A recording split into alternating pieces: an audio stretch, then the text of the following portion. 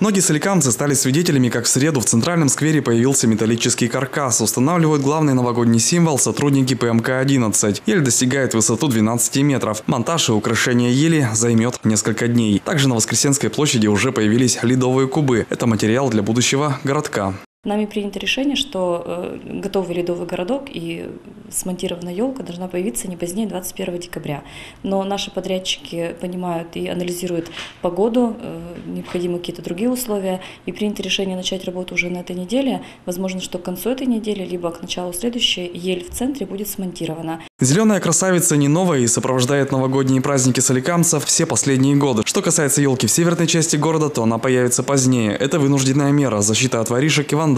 А вот главную ель Соликамска возьму под охрану почти на целый месяц. Ничего не поделаешь. Очень любят наши жители новогодние украшения. Каждый год мы сталкиваемся с, со случаями вандализма. Снимают и нижние ветви ели, и декоративную светотехнику снимают. То есть это каждодневная проблема. Поэтому, возможно, нужно обратить внимание жителей и горожан города, если видят, пресекать данные попытки неизвестных лиц. Что касается ледового городка, то его строительство снова доверено пермским скульпторам фирме «Ермак». Средства на возведение городка вновь выделила компания «Уралкалий».